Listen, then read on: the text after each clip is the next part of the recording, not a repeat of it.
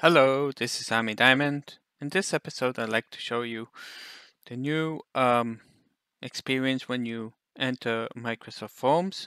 So if you remember, it was uh, totally different. Here uh, we have a new uh, landing page where you can choose from templates from uh, four main types, uh, organization uh, success events, gain insights through user research, improve imp employee satisfaction and uh, digitize day to day. So let's go to each one of those and see. So here we have uh, four main templates. You see the first one is community volunteering and we see a preview.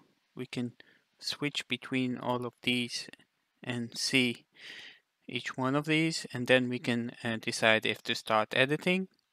Uh, if you remember the four main ones, so we can switch between them now. And uh, now we see a preview of each one of those. And let's say we'll take a vacation, a sick leave. Uh, we think it's uh, fits us, so we'll just start editing. And now it's saved on, uh, and we can edit it and do uh, whatever we want. In addition, uh, we have the themes. So uh, eventually it will come to everyone as a landing page. Uh, this URL, which I uh, provide, uh, can give you uh, direct access to it. You can also skip this. if you click on create from scratch, it will ask you if you want to create a form or a quiz. So in this case, let's choose a form.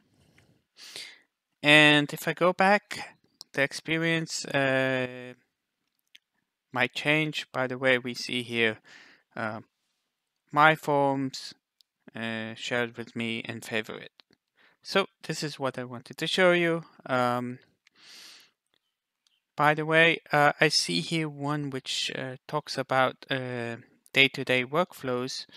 I'm not sure if it's talking, if there's any workflow in the background, but uh, probably not. But maybe in the future. So this is what I wanted to show you and uh, hopefully you enjoy. Goodbye.